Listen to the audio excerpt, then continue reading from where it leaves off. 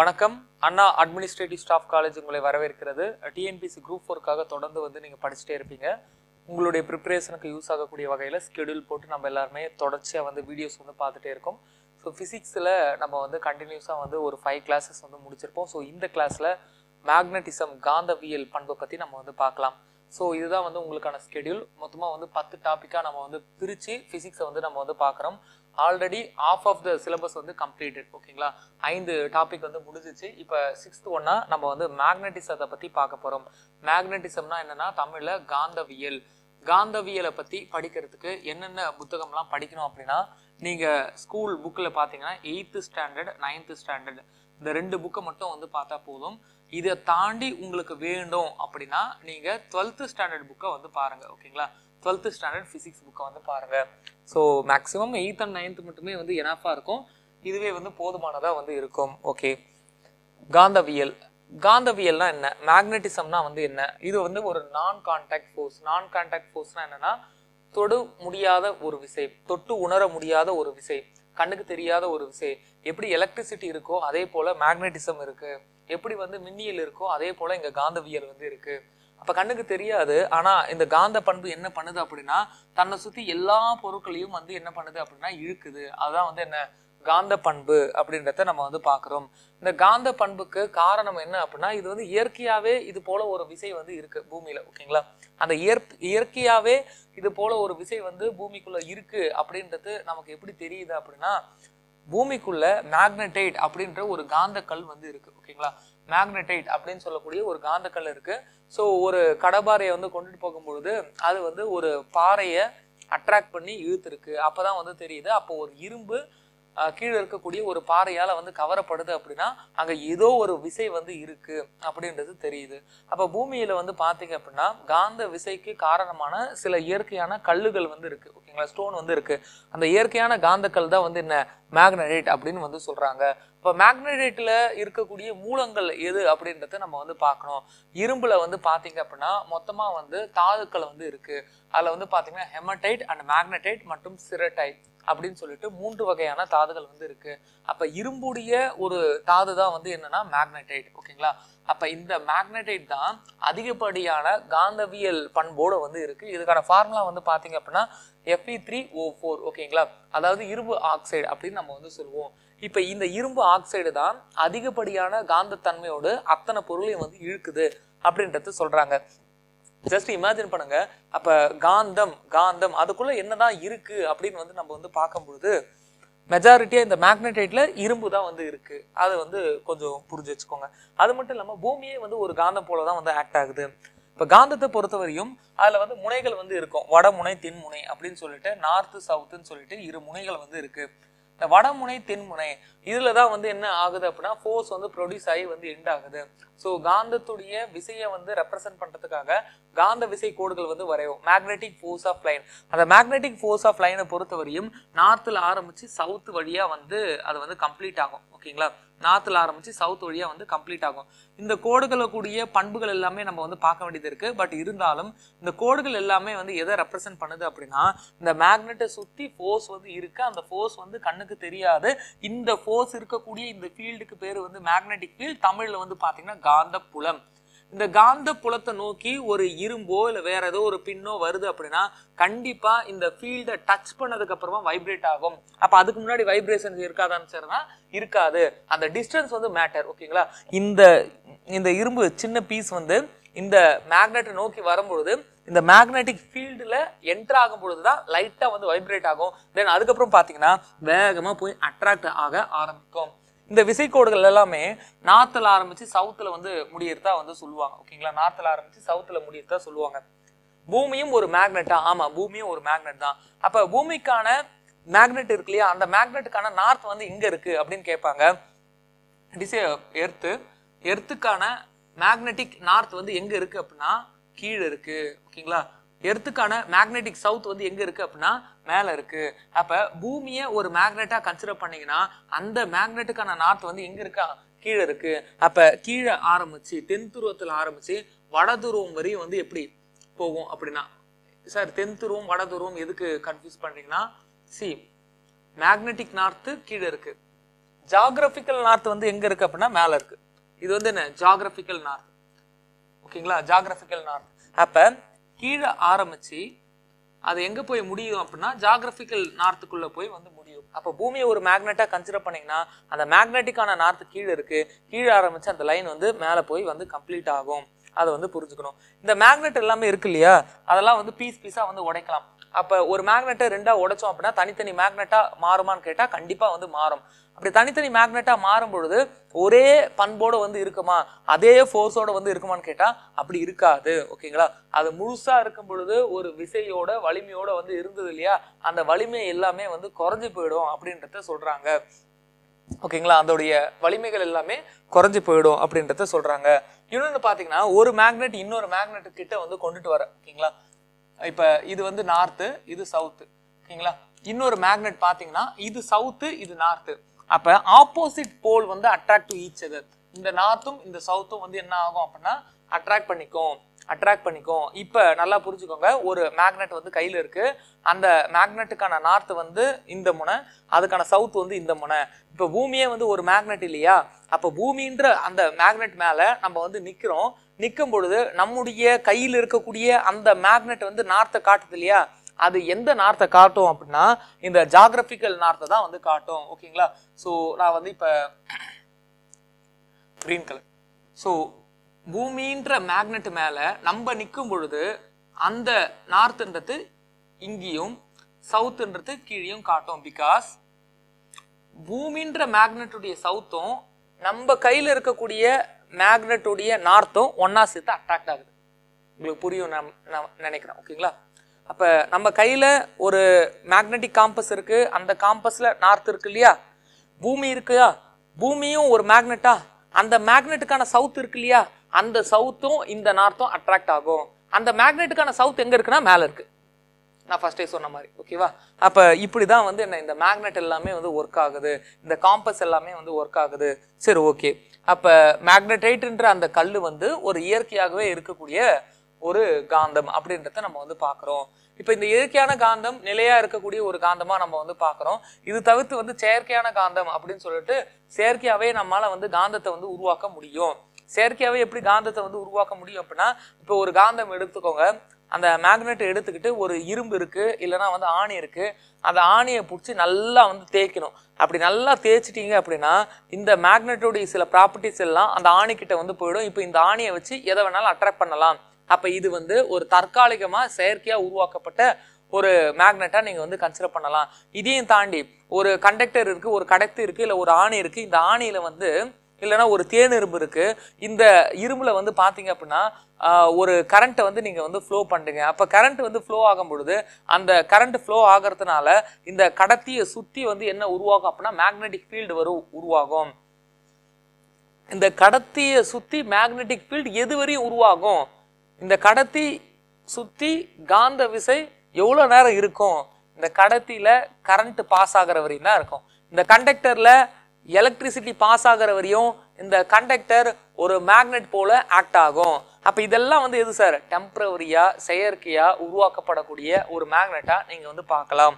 அப்போ இயற்கையான மேக்னெட் செயற்கையான மேக்னெட் அப்படின்றத நீங்கள் வந்து புரிஞ்சுக்கணும். ஒன்று ரெண்டாவது பார்த்தீங்கன்னா காந்த புலம்.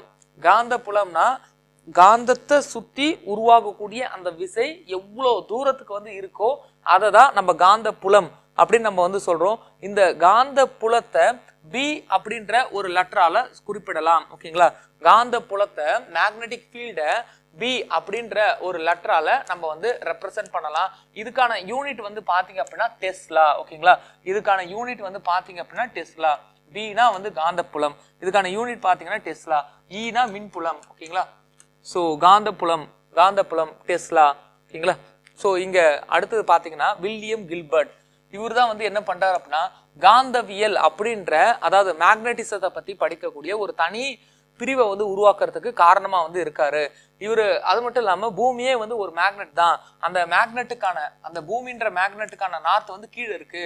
அந்த சவுத் வந்து மேல இருக்கு அப்படின்றத சொன்னது வந்து இவர் தான் ஓகேங்களா ஸோ இதை வந்து கொஞ்சம் வந்து பார்த்து வச்சுக்கோங்க. இதெல்லாம் வந்து என்ன பாக்ஸ் கண்டென்ட் இதில் வந்து வேற ஏதாவது கொஸ்டின் கேட்குறதாங்க இருந்தா தி மேக்னடைட் அப்படின்ற ஒரு புத்தகத்தை யார் வந்து வெளியிட்டாங்க? அது போல புத்தகமும் இல்லை அது போல கொஸ்டினும் வந்து என்ன? கேட்கலாம்.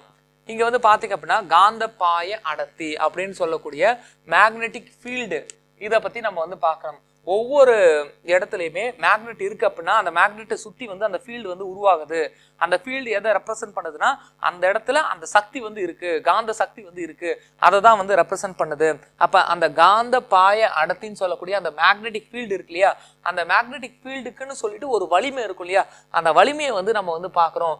ஹியூமன் பிரெயின் ஹியூமன் பிரெயினை சுற்றி வந்து என்ன அந்த காந்தப்பாய அடுத்து இருக்கு காந்தம் வந்து இருக்கு. அதுக்கான வலிமை வந்து பார்த்தீங்கன்னா ஒரு பிகோ டெஸ்லா அப்படின்னு சொல்றாங்க. ஸோ மேக்னெட்டிக் ஃபீல்டு இந்த galaxy galaxy milky way galaxy அப்போ பெரிய கேலக்ஸியில் எவ்வளோ மேக்னெட்டிக் ஃபீல்டு வந்து இருக்குது அப்படின்னா zero point five nano tesla அப்படின்ற மாதிரி வந்து சொல்கிறாங்க அது மட்டும் இல்லாமல் நுண்ணலை அடுப்பு அப்படின்னு சொல்லக்கூடிய மைக்ரோவேவ் ஓவன் இதில் இருக்கக்கூடிய மேக்னெட்டிக் ஃபீல்டுக்கான வேல்யூ வந்து பார்த்தீங்க அப்படின்னா எயிட் மைக்ரோ டெஸ்லா அப்படின்னு சொல்கிறாங்க ஓகேங்களா? இதெல்லாம் வந்து வே வேல்யூ அப்புறம் சென்னையில் பூமியுடைய காந்தப்பாய அடர்த்தி எலக் எர்த்துடைய மேக்னெட்டிக் ஃபீல்டுக்கான வேல்யூ சென்னையில் வந்து எவ்வளோ இருக்குது அப்படின்னா நாற்பத்தி ரெண்டு மைக்ரோ டெஸ்லா ஓகேங்களா? எம்ஆர்ஐ ஸ்கேன் வந்து எடுக்கும் பொழுது அங்கே இருக்கக்கூடிய காந்தப்பாய அடர்த்தி மேக்னெட்டிக் ஃபீல்டு வந்து எவ்வளோ அப்படின்னா டூ டெஸ்லா ஓகேங்களா? டூ டெஸ்லா இது வந்து வேல்யூ டெக்கானா என்ன ஹெக்டோனா என்ன கிலோனா என்ன mega giga tera peta exa zetta yotta and deci centi milli micro nano pico femto atto zepto yocto ஓகேங்களா இந்த வேல்யூ ஓகேங்களா இந்த வேல்யூஸ் ரொம்ப முக்கியம். நம்ம இப்போ வந்து பார்த்தோம் இல்லையா? மைக்ரோ டெஸ்லா மெகா டெஸ்லா ஓகேங்களா இது போல வேல்யூஸ் வந்து ரொம்ப முக்கியம் ஓகேங்களா ஸோ காந்தங்கள். இயற்கை காந்தம் செயற்கை காந்தம் சொல்லிட்டு ரெண்டா வந்து பிரிக்கலாம். இயற்கை காந்தம்னா வந்து நேச்சுரலாக உருவாகக்கூடிய காந்தம். செயற்கை காந்தம்னா வந்து நம்ம வந்து அதில் காந்த பண்பை வந்து இன்டியூஸ் பண்ணுறோம் இந்த இயற்கை காந்தம் இயற்கை காந்தத்தை பொறுத்த வரையும் இது வந்து ஒழுங்கற்ற வடிவம். ஓகேங்களா? ஒரு கல் தான். ஓகே மேக்னட்டேட்னு ஒரு கல் எடுக்கிறோம். அந்த கல் வந்து என்ன? ஒழுங்கற்ற வடிவத்தோட இருக்கு. ஆனால் இந்த செயற்கை காந்தங்களை பொறுத்தவரையும் நம்ம வந்து அந்த காந்தத்துடைய வடிவத்தை முன்னாடியே வந்து டிட்டர்மைன் பண்ணலாம். ஒரு பார் போல வந்து இருக்கு. இந்த இயற்கை காந்தத்துக்கு வலிமை வந்து அதிகம். அந்த வலிமை வந்து நிலையாக வந்து இருக்கும் ஓகேங்களா செயற்கை காந்தம்ன்றது வலிமை அந்த காந்த பண்பு இருக்கு இல்லையா? அந்த காந்த புலம் பி அந்த காந்த புலம் நம்ம இஷ்டத்துக்கு நம்ம வந்து என்ன பண்ணலாம்? இன்டியூஸ் பண்ணலாம். எந்த அளவு காந்த தன்மையோட வந்து இருக்கணும்னு சொல்லிட்டு நம்ம வந்து உருவாக்கலாம் அப்படின்றத சொல்லலாம். இப்போ இயற்கையான இருக்கக்கூடிய காந்தம்ன்றது மேக்சிமம் நிலையா இருக்கும் நீண்ட காலத்துக்கு வந்து இருக்கும். பட் செயற்கையான காந்தங்கள் எல்லாமே ஒரு குறிப்பிட்ட கால அளவு தான் வந்து இருக்கும்ன்றத நீங்க வந்து புரிஞ்சுக்கணும். டெம்பரேச்சர் வரும்பொழுது அந்த காந்த பண்பு வந்து இழக்கப்படலாம். ஸோ இதெல்லாம் வந்து இருக்கு ஓகேங்களா ஸோ இது வந்து மிக குறைந்த பண்பாடு இருக்கு. இதுல வந்து பாத்தீங்கன்னா அதிகப்படியான யூசேஜ் வந்து இருக்கு. எதுல? செயற்கை காந்தத்துல ஓகேங்களா ஸோ இதுதாங்க. நீங்க ரியாலிட்டியா நீங்க வந்து பார்த்துக்கணும் புரிஞ்சுக்கணும் அப்படின்னா அந்த மேக்னெட் இருக்கு இல்லையா? அந்த மேக்னெட்டை வந்து அடியில் வச்சுட்டு மேலே வந்து ஒரு பேப்பர் வச்சுட்டு அந்த பேப்பர் மேலே மண்ணை வந்து போடுங்க. மண் இரும்பு தூள் இது எல்லாத்தையும் வந்து போடும் பொழுது உங்களுக்கு அந்த மேக்னெட்டை சுற்றி அது அட்ராக்ட் ஆகி நிற்கிறது வந்து தெரியும். அது சுற்றி ஒரு பேட்டர்ன்லாம் அட்ராக்ட் ஆகி நிற்கும் இல்லையா? அந்த பேட்டர்னுக்கு பேர் தான் காந்த புலம் அப்படின்னு சொல்லக்கூடிய மேக்னெட்டிக் ஃபீல்டு அந்த பேட்டர்னில் தான் வந்து என்ன ஃபோர்ஸ் வந்து இருக்குது அது நம்ம லைன் லைனாக தெரியுது இல்லையா? நார்த்தில் ஆரம்பிச்சு சவுத் வரையும் போகக்கூடிய அந்த லைனாக தெரியுது இல்லையா? டாட்டர் லைனாக அப்போ இந்த லைனுக்கு பேர் மேக்னெட்டிக் ஃபோர்ஸ் ஆஃப் லைன் ஓகேங்களா? சில நேரத்தில் வந்து இந்த மேக்னெட்டிக் ஃபோர்ஸ் ஆஃப் லைன் சொல்லக்கூடிய காந்த விசை கோடுகளுடைய பண்புகளை வந்து கொஸ்டினாக வந்து கேட்பாங்க. ஓகேங்களா? அதெல்லாம் நம்ம வந்து பார்க்க வேண்டியது இருக்குது ஸோ இதான் வந்து என்ன? மேக்னெட்டிக் ஃபீல்டு நம்ம வந்து வரையும் பொழுதும் நமக்கு வந்து தெரியும். நார்த்துலேருந்து சவுத்தை நோக்கி வந்து இது வந்து போகும். டென்த்து ஸ்டாண்டர்டில் பழைய இப்போவுமே வந்து என்ன? அது ப்ராக்டிஸ் பண்ணுறதுக்கு ஒரு இதுவாக ப்ராக்டிக்கலாகவும் வந்து வச்சுருக்காங்க. ஓகேங்களா? ஸோ அடுத்து வந்து பார்த்தீங்கன்னா ப்ராப்பர்ட்டிஸ் ஆஃப் மேக்னெட்டிக் லைன் இப்போ நம்ம வந்து ஒரு லைனை பார்த்தோம் இல்லையா? அந்த லைனுக்கான பண்புகள் வந்து எது இதெல்லாம் இருக்குது அப்படின்றத நம்ம வந்து பார்க்குறோம் இந்த பண்புகள் வந்து பார்த்தீங்க அப்படின்னா காந்த விசை கோடுகள் காந்தத்தின் உட்புறம் ஊடுருவி செல்லும் ஒரு தொடர் வளைகோடுகள் அப்படின்றத சொல்கிறாங்க எஸ் இந்த காந்த விசை கோடுகள்ன்றது எப்படின்னா நார்த்துலேருந்து வெளியே வந்து சவுத் வழியா உள்ள புகுந்து போகும். அப்படி போகக்கூடிய ஒரு வளைவான கோடுகள் தான் இந்த காந்த விசை கோடுகள் அப்படின்றத சொல்றாங்க. ஸோ இது வந்து நார்த்தில் ஆரம்பிச்சு சவுத்தில் போய் வந்து முடிவடையுது. அது மட்டும் இல்லாமல் இந்த மேக்னெட்டிக் ஃபோர்ஸ் ஆஃப் லைன் அப்படின்னு சொல்லக்கூடிய இந்த காந்த விசை கோடுகள் இருக்கு இல்லையா? அது எக்கச்சக்கமாக இருக்குங்க. ஆனால் ஒரு லைன் இன்னொரு லைனை எப்பவுமே வந்து வெட்டிக்காது. ஒருபோதும் வெட்டி கொள்வது இல்லை. அதையும் வந்து தெளிவாக வந்து சொல்றாங்க. ஒரு லைனு இன்னொரு லைனை எப்பவுமே வந்து not cross to each other எப்பவுமே வந்து வெட்டிக்காது. அதையும் வந்து சொல்றாங்க. ஓகேங்களா? ஸோ காந்தத்தினுடைய நடுப்பகுதியை விட துருவங்களில் அதிகமாக இருக்கும். இதுக்கான அர்த்தம் என்னன்னா இந்த டயக்ராம்லேயே வந்து பார்த்தா தெரியும். சி இங்கே வந்து பார்த்தீங்க அப்படின்னா இந்த ஜோன் இருக்கு பாருங்க. எஸ் இந்த ஜோன் பாருங்கள் இங்க வந்து பாத்தீங்கன்னா அந்த லைன் வந்து அதிகமா வந்து இருக்கு. ரொம்ப கான்சென்ட்ரேட்டடா இருக்கு. இங்க பாத்தீங்கன்னா ரொம்ப டார்க்கா இருக்கு பாருங்க. இங்கேயும் ரொம்ப டார்க்கா இருக்கு பாருங்க. இந்த சென்டர்ல பாத்தீங்கன்னா வந்து அந்த லைன் வந்து கேப் விட்டு கேப் விட்டு இருக்கும். இங்க வந்து பாத்தீங்கன்னா அந்த லைன் வந்து நெருக்கமா வந்து உள்ள வந்து சேரும். ஓகேவா நெருக்கமா வந்து உள்ள வந்து சேரும். அப்ப இதுல என்ன சொல்றாங்க அப்படின்னா சென்டர் போர்ஷனை கம்பேர் பண்ணும்பொழுது அந்த போல்னு சொல்லக்கூடிய அந்த முனைகள் இருக்கு இல்லையா? அந்த north pole and south pole இந்த முனைகள்ல காந்த விசை கோடுகள் ரொம்ப நெருக்க நெருக்கமாக அமையுது. அங்கே டென்சிட்டி அதிகமாக இருக்குது அங்கே காந்த பண்பு அதிகமாக இருக்குது அங்கே ஃபோர்ஸ் அதிகமாக இருக்குது எப்படி வேணாலும் சொல்லலாம். எங்கே போடல ஓகேங்களா போல்ல ஃபோர்ஸ் அதிகமாக இருக்குது வென் கம்பேர் டு ஈக்குவேட்டார் அப்படின்னு நீங்கள் வந்து சொல்லலாம். If you are considering earth as a magnet ஓகேங்களா பூமியை ஒரு மேக்னெட்டாக நீங்கள் கன்சிடர் பண்ணும்பொழுது போல்ல அதிகப்படியான காந்த விசையும் நடுவரை பகுதியில் காந்த விசைகள் கம்மியாகவும் விலகு விலகியும் வந்து இருக்குது அந்த விசை கோடுகள் விலகு விலகியும் இருக்குன்றத புரிஞ்சுக்கலாம் ஓகேவா அதுதான் வந்து என்ன மூணாவதாக இருக்கக்கூடிய ஒரு பண்பாக வந்து இருக்கு. இப்போ வளைஞ்சு வளைஞ்சு வந்து கோடுகள் வந்து போகுது இல்லையா? அதுதான் வந்து காந்த விசை கோடுகள் சொல்றோம். இந்த காந்த விசை கோடுகளில் ஒரு பாயிண்ட் வந்து நம்ம வந்து எடுக்கிறோம். எந்த பாயிண்ட் வேணாலும் எடுக்கலாம். அந்த பாயிண்ட்டுக்கு நீங்கள் வந்து டேஞ்சன்ட் வரையறீங்க. சே எக்ஸாம்பிள் இப்படி வளைஞ்சு வந்து ஒரு கோடு வந்து போகுது நார்த்தில் ஆரம்பிச்சு சவுத்தில் இப்போ இங்கே வந்து ஒரு பாயிண்ட் எடுக்கிறேன். இந்த பாயிண்ட்டுக்கு நான் வந்து ஒரு தொடுகோடு வரைகிறேன் டேஞ்சன் வரைகிறேன் அந்த டேஞ்சன் வந்து எதை ரெப்ரசென்ட் பண்ணுதுன்னா அந்த ஃபோர்ஸ் ஆஃப் லைனுடைய டேரக்ஷனை ரெப்ரசென்ட் பண்ணுது. அதாவது காந்த விசை கோடுகளுடைய அந்த திசையை குறிக்கக்கூடியதே வந்து என்ன? அந்த தொடுகோடு தான் அப்படின்றத சொல்றாங்க. இதெல்லாம் காந்த விசை கோடுகளுடைய பண்புகளாக நம்ம வந்து பார்க்கணும். மேக்னெட்டிக் ஃபோர்ஸ் ஆஃப் லைனுடைய கேரக்டராக வந்து நம்ம வந்து பார்க்கணும். ஓகேங்களா ஸோ இது எல்லாமே வந்து மேக்னெட்டிக் ஃபோர்ஸ் ஆஃப் லைன் தான். ஸோ நம்ம வந்து வெட்டி வந்து எடுக்கிறோம். ஸோ ரெண்டு தனித்தனி மேக்னெட்டை கூட வந்து என்ன ஒன்றா வந்து சேர்க்கலாம். இல்லை இங்கே வந்து பார்த்தீங்கன்னா வந்து நார்த்து நார்த்து இருக்கு இல்லையா? நார்த்து நார்த்தை வந்து ரிப்பல் பண்ணும் ஓகேங்களா ஏன்னா நார்த்துலேருந்து வெளியே வரும் இங்கேயும் நார்த்துலேருந்து வெளியே வரும். கண்டிப்பாக அட்ராக்ட் ஆகாது. ரெண்டு ஃபோர்ஸும் வந்து ஈக்குவல் அண்ட் ஆப்போசிட்ன்றதெல்லாம் ரிப்பல் பண்ணும். இங்கே வந்து பார்த்தீங்கன்னா நார்த்துலேருந்து வெளியே வரும்.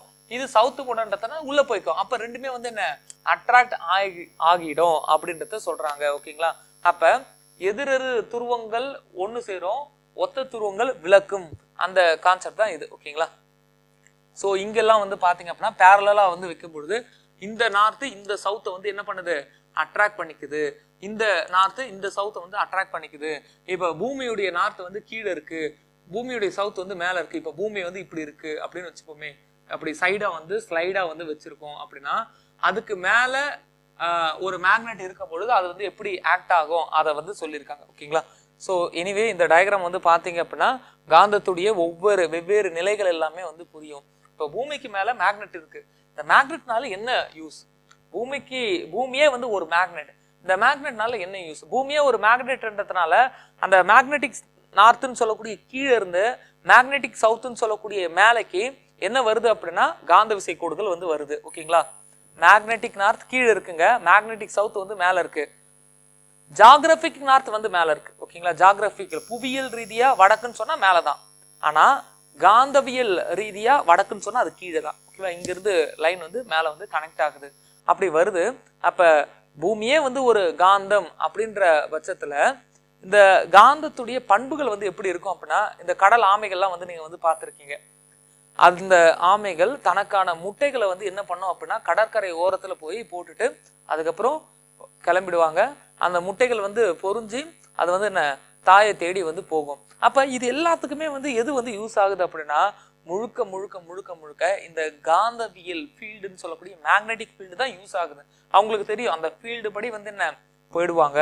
அது இங்கே மட்டும் இல்லைங்க இயற்கையாக வந்து நிறைய இடங்களில் வந்து நீங்கள் வந்து பார்க்கலாம். பூமியுடைய மேக்னெட்டிசம் எல்லா இடங்கள்லையுமே வந்து ஒர்க் ஆகுதுன்றத பார்க்கலாம் ஓகேங்களா? சே எக்ஸாம்பிள் பெரிய பெரிய பறவைகள் புறாக்கள் இதெல்லாம் வந்து பார்த்தீங்க அப்படின்னா ரொம்ப தூரம் பயணிச்சா கூட தன்னுடைய இருப்பிடத்துக்கே வந்து வந்துடும் அப்படின்றத சொல்றாங்க. அப்போ அதுக்கான காரணம் என்ன அப்படின்னா காந்த புலம் ஓகேங்களா? காந்த புலத்தை அறியக்கூடிய ஒரு பண்பு வந்து என்ன? புறாக்கு வந்து இருக்கு அப்படின்றத சொல்றாங்க. அதை வந்து என்ன சொல்றாங்கன்னா காந்த உணர்வு ஓகேங்களா? மேக்னெட்டோ ரிசப்ஷன் அப்படின்றத சொல்றாங்க. அப்ப எந்த தூரத்துக்கு போனாலும் தன்னுடைய பழைய பொசிஷனுக்கு வரக்கூடிய தன்மை வந்து பறவைகளுக்கு இருக்கிறதுக்கு காரணம் காந்தத்தை ஏத்துக்கக்கூடிய பண்பு அதுக்குள்ள வந்து இருக்கு. காந்தத்தை ஏற்றுக்கிட்டு இந்தந்த டேரக்ஷனில் தான் வந்து போகணும் அப்படின்ற பண்பு வந்து இருக்குது இது வந்து பூமியுடைய மேக்னட்டிசம் இந்த இன்னொரு சைடு வந்து பார்த்தீங்க அப்படின்னா காந்தவியலுக்கான இன்னொரு கேரக்டர் நம்மளே ஒரு காந்தத்தை வந்து ரெடி பண்ணி வந்து வைக்கிறோம். ரயில்வே ட்ராக்குன்னு சொல்லக்கூடிய ரயில்வே தண்டவாளங்களில் வந்து வைக்கிறோம்.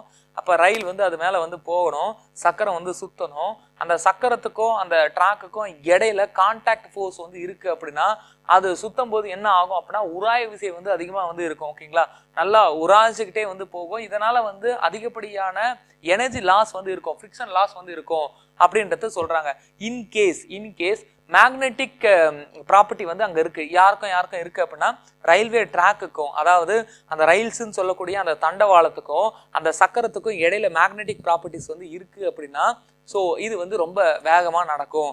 அதாவது சக்கரமும் அங்கே இருக்கக்கூடிய அந்த ரயில் தண்டவாளமும் ரெண்டுமே வந்து கான்டாக்டே இல்லைனாலும் வேகமாக அந்த விசையின் காரணமாக வந்து என்ன உந்து செல்லப்படும். வேகமாக வந்து ஃபோர்ஸாக வந்து போகும் அப்படின்றத சொல்கிறாங்க அப்போ இங்கே மேக்னட்டிசம் பிரின்சிபலை யூஸ் பண்ணி ரயில்கள் வேகமாக வந்து போகும். அங்கே ஃபிக்ஷன் லாஸ் இருக்காது.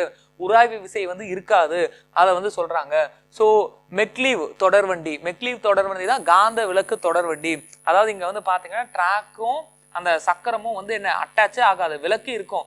அந்த ஃபோர்ஸ் அப்படியே உந்தி தள்ளும். ஓகேங்களா முன்னாடி வந்து என்ன அதிகமாக வந்து ஒரு வேகத்தோட அந்த ரயிலை வந்து போக வைக்கும். இதை வந்து சொல்லலாம். ஸோ இதை தாண்டி காந்தத்துடைய வெவ்வேறு பயன்களை வந்து நம்ம வந்து பார்க்கலாம். அதில் வந்து பார்த்தீங்க அப்படின்னா காம்பஸ் நம்ம வந்து காம்பஸை பற்றி நம்ம வந்து பார்த்தோம். காம்பஸ் வந்து எப்படி ஒர்க் ஆகுதுன்னு.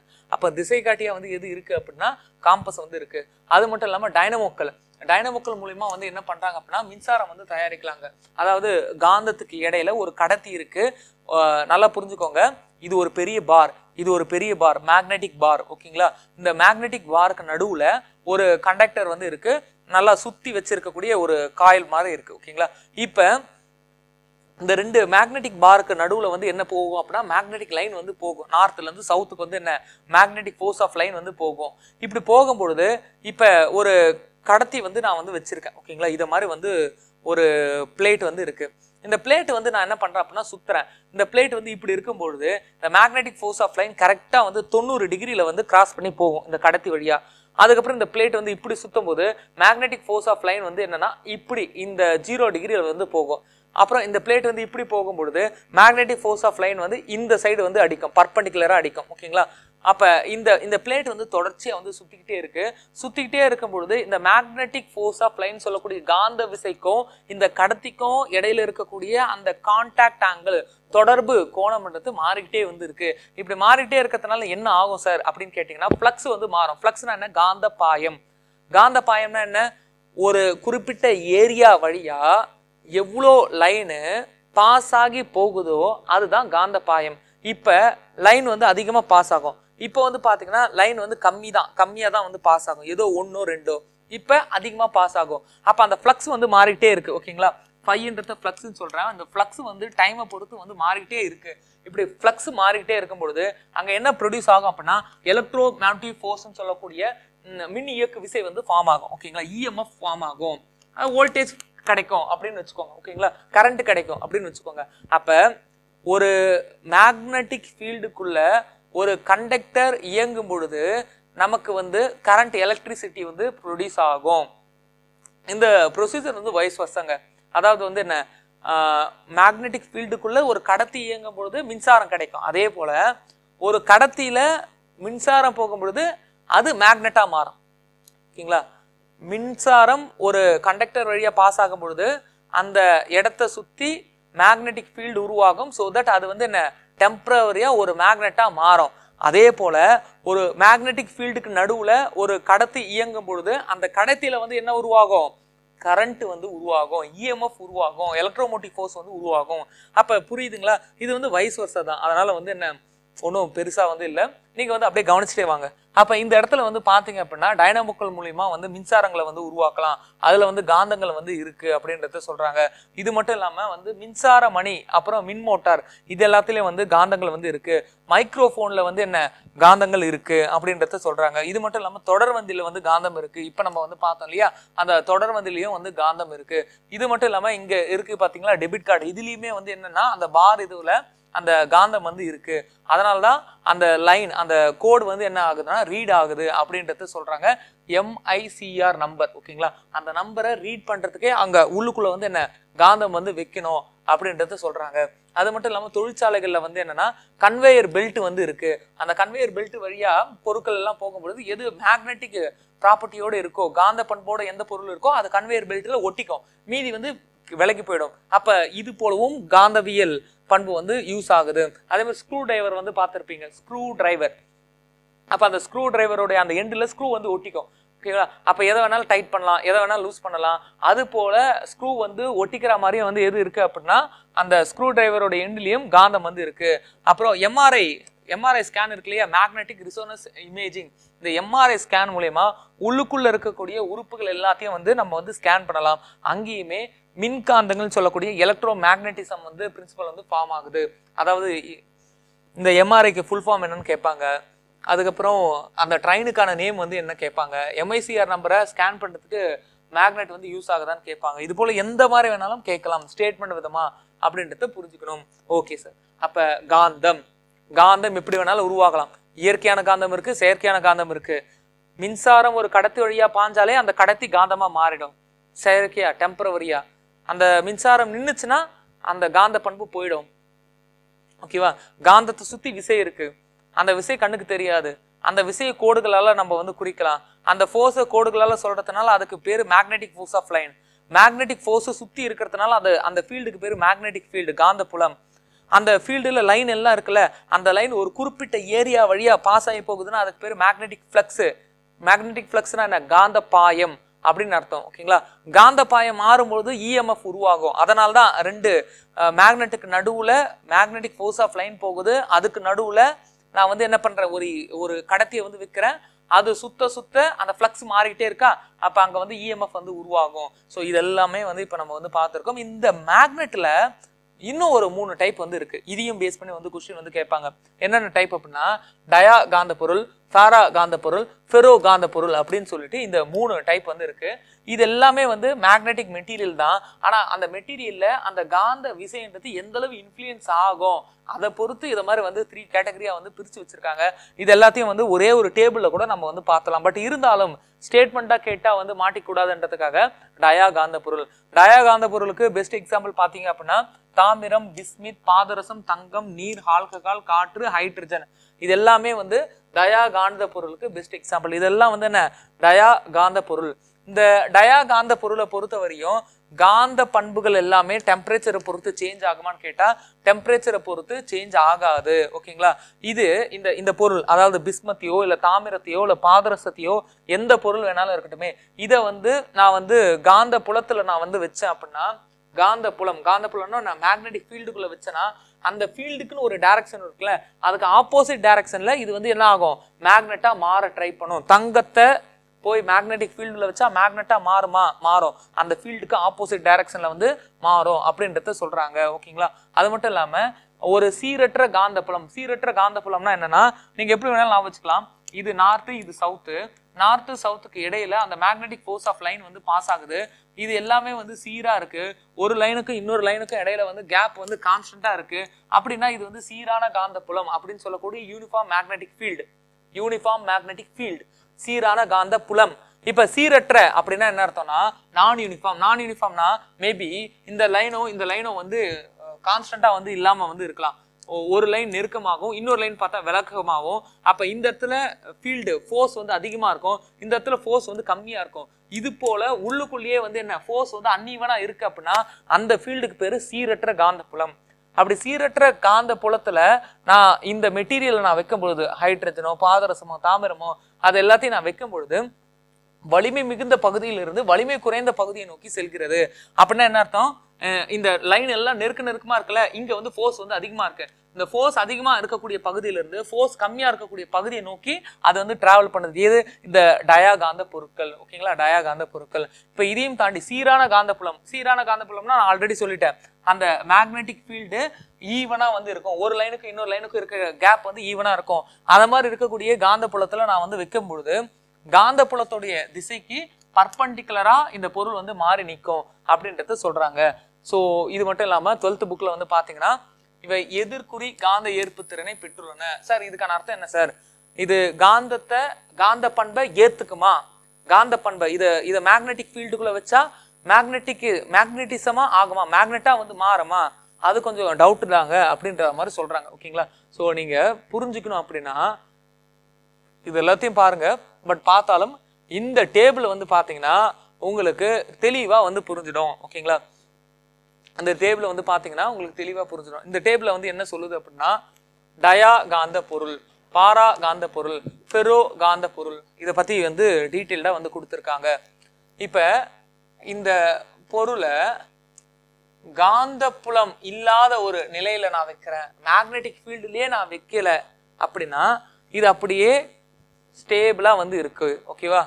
இப்போ மேக்னெட்டிக் ஃபீல்டுக்குள்ளே நான் வந்து வைக்கிறேன் அப்படின்னா மேக்னெட்டிக் ஃபீல்டுக்கான டேரக்ஷன் இங்கேருந்து இங்கே போகுதுன்னா அதுக்கு ஆப்போசிட் டேரக்ஷனில் இது வந்து திரும்பிக்கும் அப்படின்றத சொல்கிறாங்க ஒன்று மேக்னெட்டிக் ஃபீல்டுக்குள்ளே நான் வைக்கிறேன் அதுக்கு ஆப்போசிட் டேரக்ஷனில் மூவ் ஆகுறதுனால இது மேலே காந்த பண்பு வருமான்னு கேட்டால் காந்த பண்பு வராது அப்படின்றத சொல்கிறாங்க ஃபீல்டுக்குள்ளே வைக்கும் பொழுது அந்த மேக்னட்டிசம்ன்ற பண்பு வந்து என்ன ஆகுது அப்படின்னா குறையுது. அப்போ எதிர் ஆல்ரெடி இருந்த மேக்னெட்டிக் ப்ராப்பர்ட்டியும் வந்து என்ன? குறையும் அப்படின்றத சொல்றாங்க. அதனால தான் காந்த ஏற்பு திறன்றது எதிர்குறி அப்படின்றத சொல்றாங்க. ஒப்புமை உட்புகு திறன் ஒன்றை விட குறைவு. ஒப்புமை உட்புகு திறன்னா தான் வழியா எவ்வளோ ஃபோர்ஸ் ஆஃப் லைனை பாஸ் பண்ண அலோ பண்றாங்க அப்படின்றத பார்க்கறது தான் உட்புகு திறன்.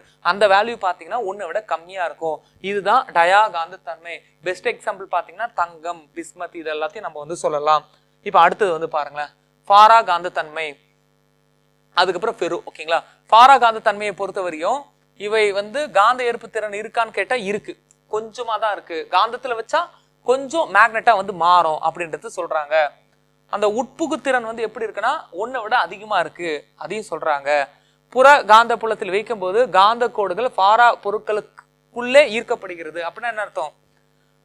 ஒரு மேக்னெட்டிக் ஃபீல்டுக்குள்ள இந்த பேரா காந்த பொருளை நான் வைக்கிறேன் அப்படின்னா பேரோ மேக்னெட்டிக் மெட்டீரியலை நான் வைக்கிறேன் அப்படின்னா இது வழியா கண்டிப்பா லைன் எல்லாம் பாஸ் ஆகி போகுது அப்படின்றத சொல்றாங்க. காந்த ஏற்பு திறன் வெப்பநிலைக்கு தகவு ஒருவேளை டெம்பரேச்சர் அதிகமா இருந்தா இது மேக்னெட்டா மாறாது. டெம்பரேச்சர் அதிகரிக்க அதிகரிக்க இதோடைய மேக்னெட்டா மாறக்கூடிய தன்மை குறைஞ்சிடும் மேக்னெட்டா இது சுத்தமா மாறாது அப்படின்றத சொல்றாங்க. இதுதான் வந்து என்ன? பேரா மேக்னெட்டிக் பொருட்கள் ஓகேங்களா இந்த பாரா காந்த பொருட்களுக்கு பெஸ்ட் எக்ஸாம்பிள் எது அப்படின்னா so aluminium platinum chromium oxygen manganese இது எல்லாத்தையும் வந்து நம்ம வந்து சொல்லலாம். பாரா காந்த பொருளுக்கு பெஸ்ட் எக்ஸாம்பிளாக சொல்லலாம். டெம்பரேச்சர்னால இது வந்து மாறுது குறையுது அப்படின்றத சொல்கிறாங்க ஓகேங்களா? ஸோ அது மட்டும் இல்லாமல் சீரற்ற காந்த புலத்தில் என்ன ஆகும்? சீரான காந்த புலத்தில் என்ன ஆகும்? அதையும் வந்து சொல்லிடுறாங்க. ஓகேவா? ஸோ அது மட்டும் இல்லாமல் காந்த புலத்துடைய திசையிலேயே காந்தமாகுது. எந்தெந்த மெட்டீரியலாம் காந்த புலத்துடைய திசையிலேயே அது வந்து ஒத்திசைவோட வந்து போகுதோ அதெல்லாம் ஓரளவு காந்தமாக வந்து மாறும் அப்படின்றத நீங்கள் வந்து புரிஞ்சுக்கணும் ஓகேங்களா? காந்தமாக வந்து மாறும் அப்படின்றத புரிஞ்சுக்கணும். மீக்கடத்திகள் அப்படின்னு சொல்லக்கூடிய சூப்பர் கண்டக்டர் முழுமையான டயாகாந்த பொருட்கள் ஆகும் அப்போ டயாகாந்த பொருட்கள் சூப்பர் கண்டக்டரா அப்படின்னு கேட்டால் எஸ் சூப்பர் கண்டக்டர் ஒரு முழுமையான டயாகாந்த பொருளாக இருக்கும் அப்படின்றத கொஞ்சம் தெரிஞ்சு வச்சுக்கோங்க. இப்போ டயாவை பார்த்தாச்சு ஃபாராவை பார்த்தாச்சு. இப்போ மறுபடியும் இந்த இந்த டேபிளுக்கு வருவோம். சி உங்களுக்கு தெரியுதான்னு பாருங்கள் மேக்னெட்டிக் ஃபீல்டு வைக்கிறதுக்கு முன்னாடி ஓகேவா மேக்னெட்டிக் ஃபீல்டு வைக்கிறதுக்கு முன்னாடி இது என்ன ஆகுது அப்படின்னா இதுக்குள்ளே இருக்கக்கூடிய மேக்னெட்டிக் ப்ராப்பர்ட்டி சீராக ஆனால் ரேண்டமாக மாறிக்கிட்டே இருக்கு. ப்ராப்பர்ட்டி இருக்கு. இங்கே வந்து ப்ராப்பர்ட்டி சுத்தமாக இல்லை. இது ப்ராப்பர்ட்டி இருக்கு. அந்த ஃபீல்டுக்குள்ளே வச்சதுக்கப்புறமா அந்த ஃபீல்டுக்கான டேரக்ஷன்லேயே இதுவும் தன்னை அலைன் பண்ண ட்ரை பண்ணிக்குது. அப்போ அதனால் என்ன ஆகுதுன்னா கொஞ்சம் கொஞ்சமாக இது மேக்னெட்டாக மாற ட்ரை பண்ணுது. ஃபீல்டுக்குள்ளே வச்சதுனால இது மேக்னெட்டாக மாறிக்கிட்டே இருக்குது கீப் ஆன் இன்க்ரீஸிங் இன்க்ரீஸ் ஆகிட்டே இருக்குது பாருங்கள் ஓகேங்களா? கொஞ்சம் கொஞ்சமாக கொஞ்சம் கொஞ்சமாக இந்த ஸ்லோப் வந்து என்ன? எப்படி? ஸ்ட்ரெயிட் லைனா மேலே நோக்கி போகுது. அப்போ நேர்குறி. ஓகேங்களா? நேர்குறி. காந்த ஏற்பு திறன் பார்த்தீங்கன்னா நேர்குறி. அந்த ஒப்புமை உட்புக்கு திறன் பார்த்தீங்கன்னா ஒன்றை விட அதிகமாக வந்து இருக்குது இப்போ அடுத்தது வந்து பார்த்தீங்கன்னா ஃபெரோ. ஃபெரோ காந்த தன்மையை பொறுத்தவரையும் பார்த்தீங்கன்னா அது ஆல்ரெடி அது காந்தம் தான். மேக்னெட் தான். அதை ஒரு மேக்னெட்டிக் ஃபீல்டுக்குள்ளே வைக்கும் பொழுது இன்னும் வலிமையான ஒரு காந்தமாக மாறுது. ஓகேவா? அந்த காந்தத்துடைய வேல்யூ வந்து பார்த்தீங்க அப்படின்னா பயங்கரமா வந்து இன்க்ரீஸ் ஆகுது. அது அந்த வேல்யூ பார்த்தீங்கன்னா மிகப்பெரிய மதிப்பா இருக்கு. உட்புகும் தெரியணும் ஒன்றை விட அதிகமா இருக்கு. ரொம்ப ரொம்ப அதிகமா வந்து இருக்கு அப்படின்றத சொல்றாங்க. ஃபெரோ காந்த பொருள். ஓகேங்களா? இந்த ஃபெரோ காந்த பொருள்லாம் வந்து என்ன? இரும்பு. நம்ம இப்பதானே பார்த்தோம். இரும்புடைய தாது மேக்னடைட்ன்றது இயற்கையாவே ஒரு காந்தம். ஓகேவா? அந்த இயற்கையான காந்தம் வேற ஒரு காந்த புலத்துல வந்து வைக்கும் பொழுது அது இன்னுமும் வந்து என்ன? காந்தமா மாறுது. அதெல்லாம் வந்து இங்க வந்து சொல்றாங்க. ஓகேங்களா?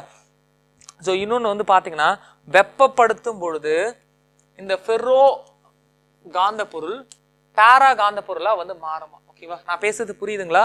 நான் ஹீட்டு வந்து கொடுக்குறேன் ஹீட்டு கொடுக்குறேன் ஹீட்டு கொடுக்க கொடுக்க கொடுக்க இந்த ஃபெர்ரோ மேக்னெட் இருக்கு இல்லையா? இந்த ஃபெர்ரோ மேக்னெட் பேரா மேக்னெட்டாக மாறும்.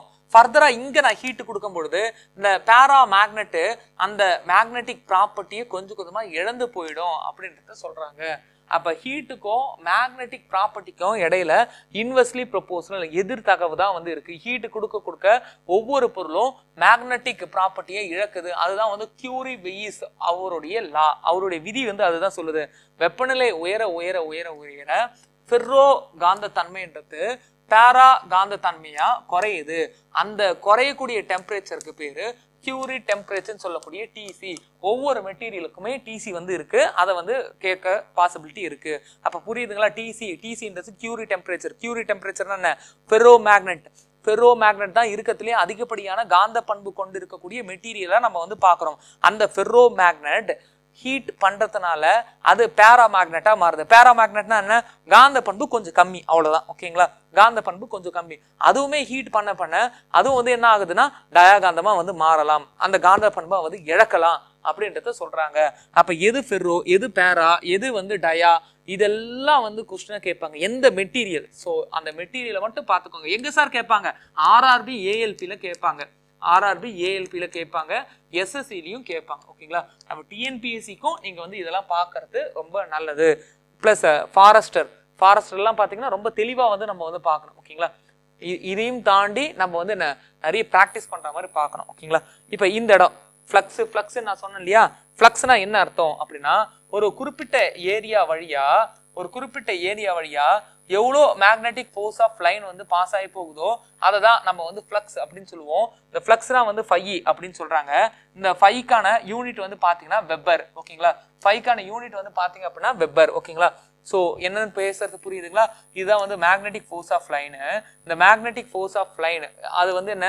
ஒரு மேக்னெட்ல இருந்து ந- வட துருவம் ஓகேவா நார்த்ல இருந்து சவுத் வரையும் வந்து போகுது ஓகேவா சவுத்து நோக்கி வந்து போகுது. இப்போ இதுக்கு நடுவில் வந்து நான் வந்து ஒரு கடத்தியை வந்து விற்கிறேன் ஓகேவா ஒரு கடத்தியை வந்து விற்கிறேன் இப்போ இந்த கடத்தி வழியாக எவ்வளோ லைன் வந்து பாஸ் ஆகுது? இந்த கடத்தியுட்கான ஏரியா வந்து பார்த்தீங்கன்னா ஏ ஓகேங்களா அப்போ இந்த கடத்தி வழியாக எத்தனை number of number of line வந்து பாஸ் ஆகுது?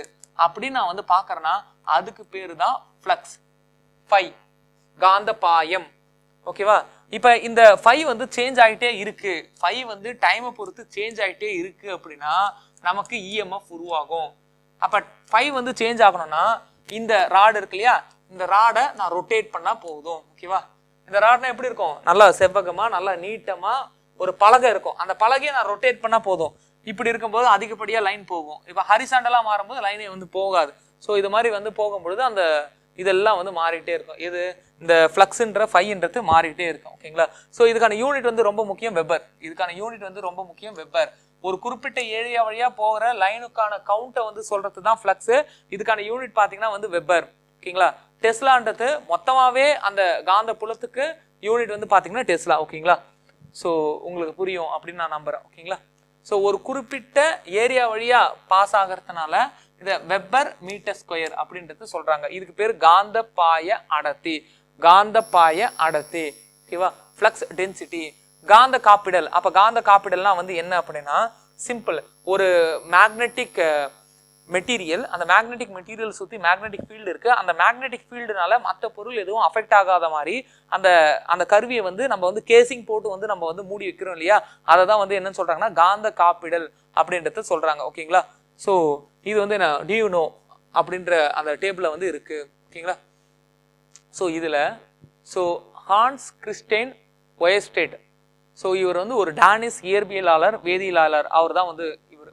இவர் தான் வந்து முதல் முதல் என்ன தெரியுமா சொல்கிறாரு மின்னோட்டம் காந்த புலத்தை உருவாக்கும் அப்படின்றத இவர் தான் முதல் முதல்ல வந்து சொல்கிறாரு ஓகேங்களா ரெண்டுத்துக்கும் இடையில இருக்கக்கூடிய விளக்கத்தை இவர் தான் வந்து கொடுத்தாரு. அதுக்கான அர்த்தம் என்னன்னா ஒரு கடத்தி வழியாக ஐயின்ற கரண்ட் வந்து பாஸ் ஆகும் பொழுது இந்த கடத்தி தன்னை ஒரு மேக்னெட்டா மாத்திக்குது.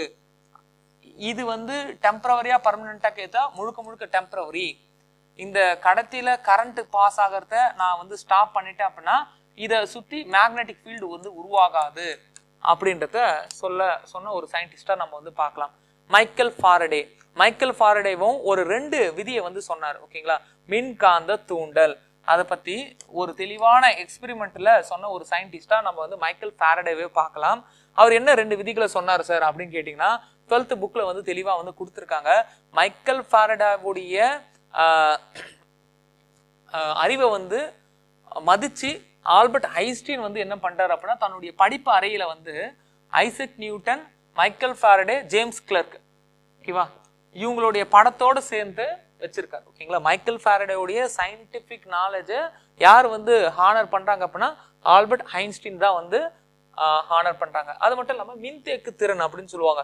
மின்தேக்கு திறன்னா வந்து என்னென்னா சார்ஜ்னு சொல்லக்கூடிய மின்னூட்டம் கூலும் ஓகேவா? அந்த சார்ஜ் எல்லாத்தையுமே ஒரு இடத்துல வந்து சேர்த்து வைக்கிறோம் இல்லையா?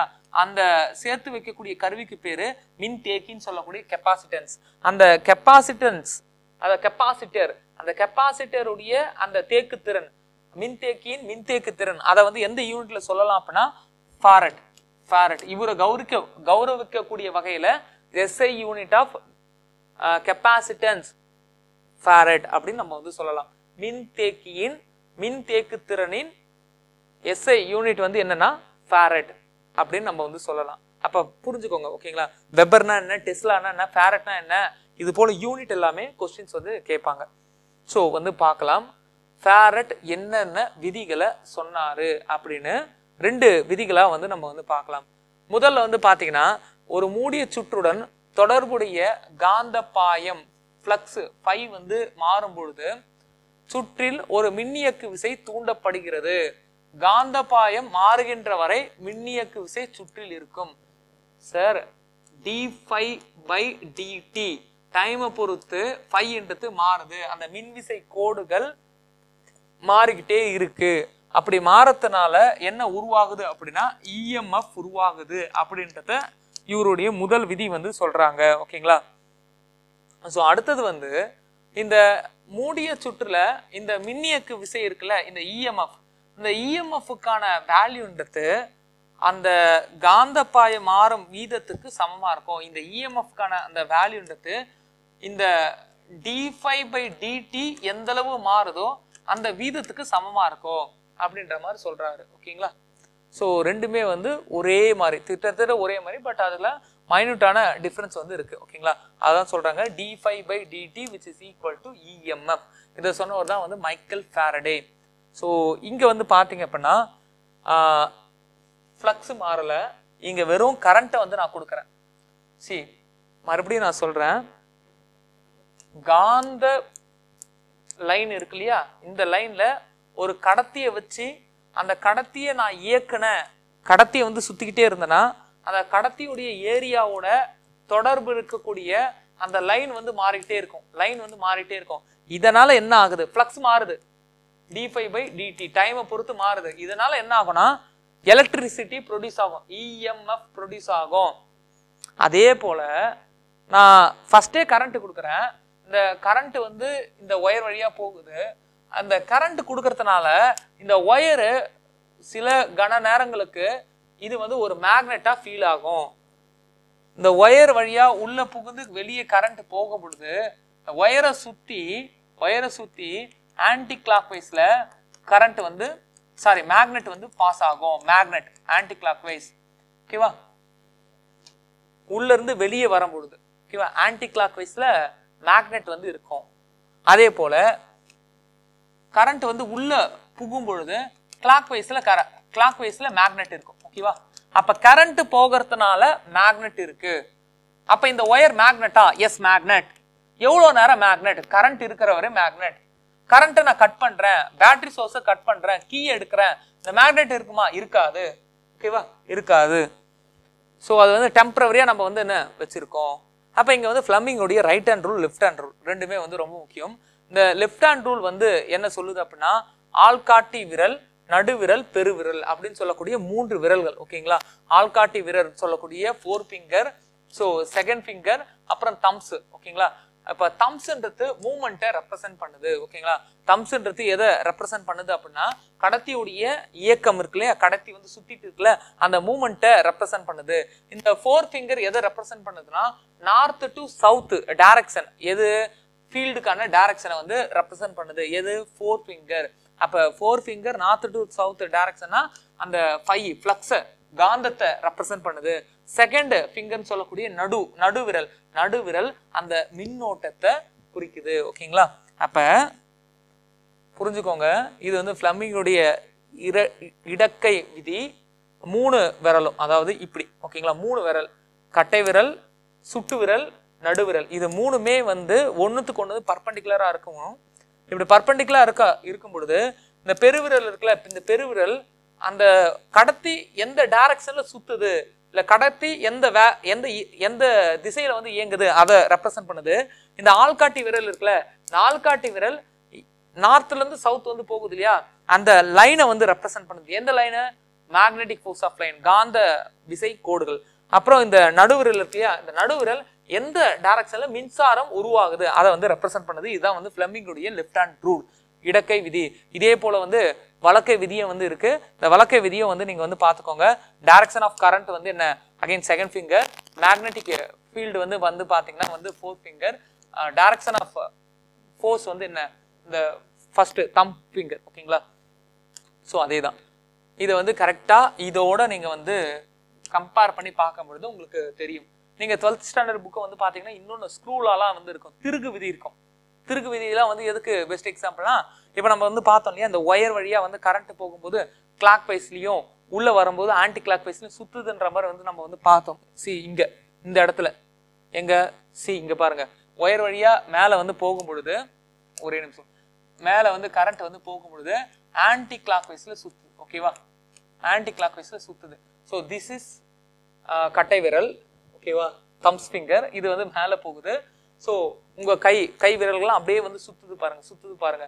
அப்போ கட்டை விரல் வழியாக கரண்ட் போகும் பொழுது மற்ற ஃபிங்கர்ஸ் எல்லாமே சுற்றுது அதாவது மேக்னட்டிசம் வந்து இருக்கு அப்படின்றத சொல்றாங்க ஓகேங்களா இப்படிலாம் வந்து விதிகள் வந்து இருக்கு. நீங்க டுவெல்த் புக்கை வச்சு பார்க்கும் பொழுது ரொம்ப இன்ட்ரெஸ்டிங்காக வந்துருக்கும். இப்போ அடுத்தது வந்து பார்த்தீங்கன்னா இந்த ஃபோர்ஸ் இந்த ஃபோர்ஸை பேஸ் பண்ணி ரெண்டு மூணு சம்மை வந்து பார்த்துட்டு இந்த கிளாஸை வந்து நம்ம வந்து புடி முடிச்சிடலாம் ஓகேங்களா இந்த ஃபோர்ஸை வந்து பொறுத்தவரையும் இது எதுக்கான ஃபோர்ஸ் அப்படின்னு பார்த்தீங்க அப்படின்னா ஒரு இடத்துல மேக்னெட்டிக் ஃபோர்ஸும் வந்து இருக்கு கடத்தியும் வந்து இருக்கு அங்க கரண்ட்டை வந்து ஃப்ளோ ஆகுது அப்படின்னா அந்த இடத்துல எந்த அளவு விசை வந்து இண்டிகேட் ஆகும் அந்த கடத்தி மேல எந்த அளவு விசை வந்து இருக்கும் அப்படின்னு கேட்கக்கூடிய ஒரு கணக்கு தான் இது. அதை வந்து பார்த்தீங்கன்னா டேரெக்டாக ஐஎல்பி இதான் வந்து ஃபார்முலா இந்த ஃபார்முலாவை நீங்கள் வந்து அப்படியே வந்து மெமரி பண்ணிக்கோங்க. அஞ்சு ஆம்பியர் கரண்ட் வந்து பாயும் பொழுது லென்த்து ஃபிஃப்டி சென்டிமீட்டர் லென்த் இருக்கக்கூடிய ஒரு conductor two into ten power minus three tesla வலிமையுடைய காந்த புலத்திற்கு செங்குத்தாக வைக்கப்படுகிறது. அப்ப இந்த கடத்தி மேல ஆக்ட் ஆகக்கூடிய ஃபோர்ஸ் வந்து என்ன? அப்ப காந்த புலம் கொடுத்துருக்காங்க ஐன்ற கரண்ட்டை வந்து கொடுத்துருக்காங்க. லென்த்தை வந்து கொடுத்துருக்காங்கன்றப்ப எல்லாத்தையும் சப்ஸ்டியூட் பண்ணி மல்டிப்ளை பண்ணீங்கன்னா five into ten power minus three newton அப்படின்றது உங்களுக்கு வந்து கிடைக்கும். ஓகேங்களா அகைன் ஹீர் ஆல்சோ இங்க வந்து சொல்றாங்க. என்ன சொல்றாங்க அப்படின்னா ஆஹ் காந்த செங்குத்தாக வைக்கப்பட்ட ஒரு குறிப்பிட்ட நீளமுடைய மின்னோட்டம் பாயும் கடத்தியானது வலுவான எஃப் விசைக்கு உட்படுத்தப்படுகிறது. ஸோ ஒரு ஃபோர்ஸ் வந்து அங்கே வந்து ஆக்ட் ஆகுது. இஃப் ஏ கண்டக்டர் அதுக்கான லென்த் வந்து ஒரு சர்டன் லென்த்னு கொடுத்துருக்காங்க. அந்த லென்த் வந்து லென்த் இருக்கக்கூடிய conductor perpendicular to the magnetic field ஓகேங்களா மேக்னெட்டிக் ஃபீல்டுக்கு பர்பண்டிகுலராக வந்து வச்சுருக்காங்க. ஸோ இந்த மின்னோட்டமானது நான்கு மடங்காகும். If I increase the current into four times four times கரண்ட்டாக வந்து நான் வந்து மாற்றுறேன் அதே நேரத்தில் இந்த கண்டக்டருடைய லென்த்தை வந்து ஆஃபாக வந்து குறைக்கிறேன். ஓகேங்களா நீளத்தை வந்து பாதியாக வந்து குறைக்கிறேன். அது மட்டும் இல்லாமல் இந்த மேக்னெட்டிக் ஃபீல்டுன்னு சொல்லக்கூடிய பியை வந்து நான் வந்து என்ன பண்ணுறேன் அப்படின்னா மூணு மடங்காக வந்து நான் இன்க்ரீஸ் பண்ணுறேன் அப்படி இன்க்ரீஸ் பண்ணும்போது ஃபோர்ஸ் வந்து எப்படி மாறும்? சிம்பிள்மா அப்போ force which is equal to ILB இப்போ ஐன்றது வந்து எப்படி மாறுதுன்னா நாலு டைம் ஃபோர் டைம்ஸ் வந்து அதிகமாகுது. லென்த் வந்து ஆஃபாக வந்து குறையுது. அந்த மேக்னெட்டிக் ஃபீல்டு வந்து த்ரீ டைம்ஸாக வந்து அதிகமாகுது. இதை நீங்கள் சிம்பிளிஃபை பண்ணீங்க அப்படின்னா ஸோ நாலு மூணு பன்னெண்டு பன்னெண்டு பை ரெண்டு ஆறு. ஸோ சிம்பிளிஃபை பண்ணிங்கன்னா ஆறு. அப்போ இப்போ புதுசாக இருக்கக்கூடிய ஃபோர்ஸ் வந்து ஆறு மடங்கு அதிகமாக இருக்கும் அப்படின்றத சொல்கிறாங்க அகைன் இப்போ நம்ம வந்து பா பார்த்தோம் இல்லைங்களா? அந்த காந்தத்துக்கு நடுவில் அந்த கடத்தி வந்து இருக்கும் பொழுது சுத்தம் பொழுது என்ன ஆக்ட் ஆகும் அப்படின்றத நம்ம வந்து பார்த்தோம். காந்த புலம் காந்த புலம்னா என்ன? காந்தத்தை சுத்தி இருக்கக்கூடிய விசை. காந்த விசை கோடுகள் காந்த விசை கோடுகள்லாம் வந்து என்ன?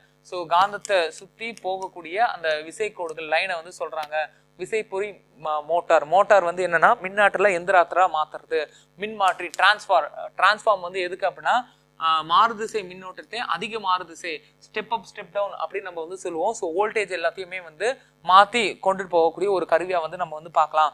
எம்ஆர்ஐ எம்ஆர்ஐன்றது உடலுடைய உட்பாகங்கள் எல்லாத்தையும் கண்டுபிடிக்கக்கூடிய ஒரு கருவியை வந்து பார்க்கலாம். மின்காந்த தூண்டல். மின்காந்த தூண்டல்லாம் வந்து என்ன?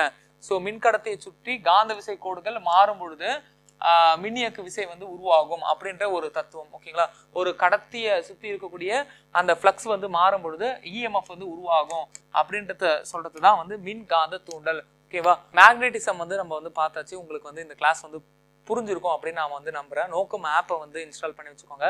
ஸோ நோக்கம் ஆப்பை இன்ஸ்டால் பண்ணி வச்சுக்கிட்டு நீங்கள் வந்து டெஸ்ட் சீரிஸ் எல்லாத்தையும் ப்ராப்பராக வந்து எழுதுங்க. ஸோ ப்ரிப்பரேஷன் அப்படின்னாலே டெஸ்ட் எழுதுறது மட்டும்தான். ப்ரிப்பரேஷன் அப்படின்னாலே நீங்கள் நோட்ஸ் எடுக்கிறது மட்டும்தான். ஸோ வேர் டு ஸ்டடி புக்கை வந்து போய் பாருங்கள் எயித்து நைன்த்து ஸ்டாண்டர்ட் புக்கை ஒரு வாட்டி ரீட் பண்ணுங்கள் ப்ளஸ் நீங்கள் வந்து ரீட் பண்ணி உங்களுக்கு புரியுற மாதிரி எழுதி வச்சுக்கிட்டு தென் வந்து டெஸ்ட் வந்து எழுதி பாருங்க. கண்டினியூஸாக ப்ரிப்பேர் பண்ணிகிட்டே இருங்க. All the best thank you